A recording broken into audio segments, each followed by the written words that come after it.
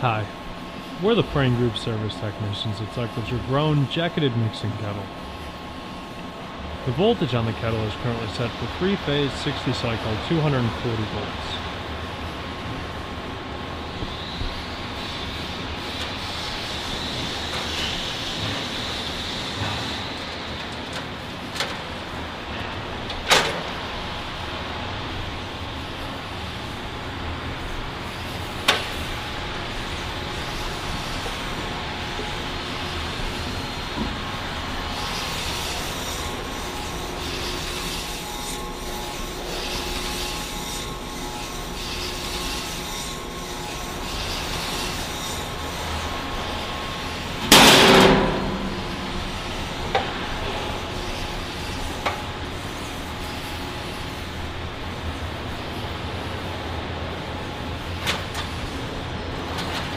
We've also pressure tested the jacket.